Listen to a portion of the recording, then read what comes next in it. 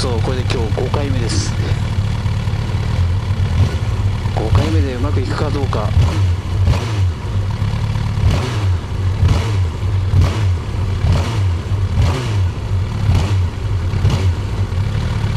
では行ってみましょう。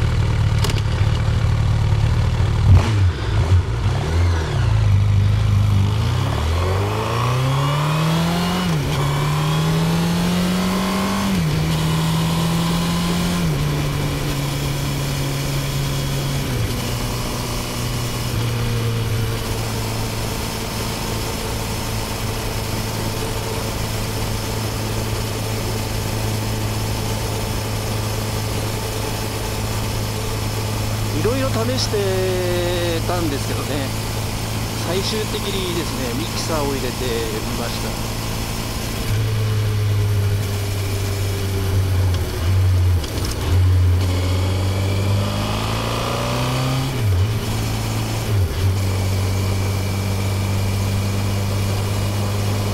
これで音声がうまく取れてれば成功です。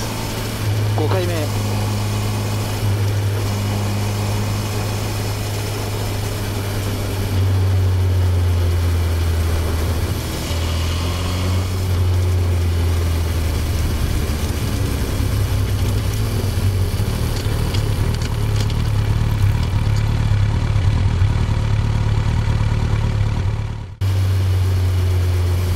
えー4回ともですねエンジンの音とかマフラーの音は取れてたんですけどもね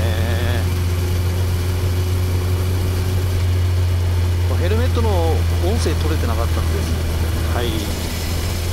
取れてなかった。でなんでかなんでかなと思ったんですけどやっぱりあのエンジンの音とかマフラーの音がやっぱり音高いんでね音潰れちゃうんだろうな。でミキサーがないんでね負けてしまってるんでしょうね音声の方がそれでちょっとミキサー入れて改善をしてみました。これ正面が元松島水上水上館って。水族館だったところですね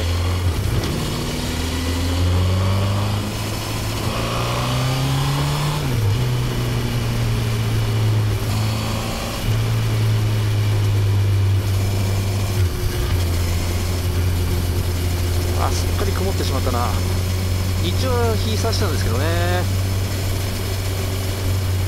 明日また雨だということで。最初のビクターのここの二股の分岐つけて音声を一括にし一括入力にしたのかな。アクションカメラに直接入れてました。あやはりあの入力が強いんでね。エンジンとマフラーの音の方が。音声がかき消されてしまって、えー失敗だと。そもそもあのインカムを録音するためにねこのビクターのあ見えねえか。ビクターのあのこの二股っていうかミキサーみたいなのがあるんですよね。で去年あの動画アップしてましたテナのマイク。もともとのヘルメットの中にもねセナの 10U 入ってるんですけどね。10U フルフェイス用のセナのマイクってペラペラなんでスピーカーとマイクをこうくっつけてマイクこうでスピーカーこうでこうくっつけたんですけどしたらもう取れる取れる。綺麗に。それを今度またエンジンの方取れるかなと思って、まあ、セナのマイクは失敗だったんで別なマイクにしましたけど。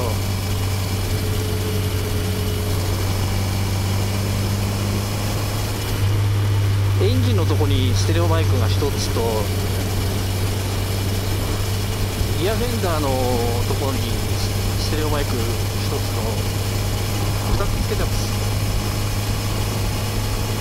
あとヘルメットですねで3つですか。この音声がどういうふうに表現されるかがあ編集してみないと分かんないですね。っていうか見てみないと、まあ、成功したら動画に上げてみようかなと思っております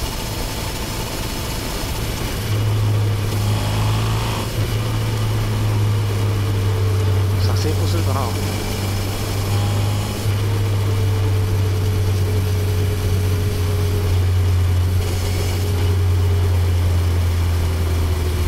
無一丁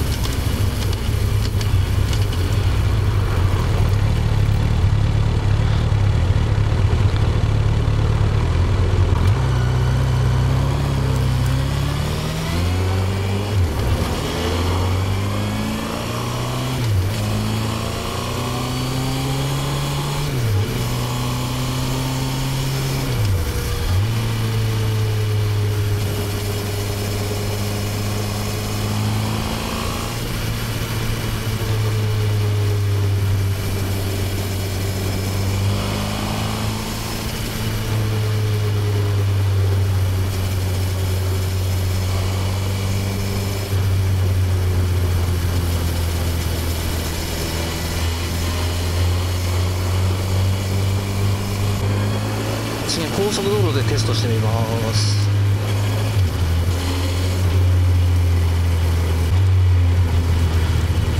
あれ ETC 入ってた時かなとりあえず行ってみようああ入ってた入ってた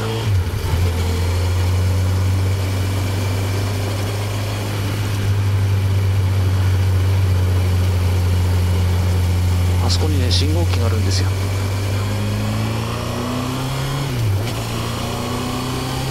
さあ高速道路では音ちゃんと拾えるかな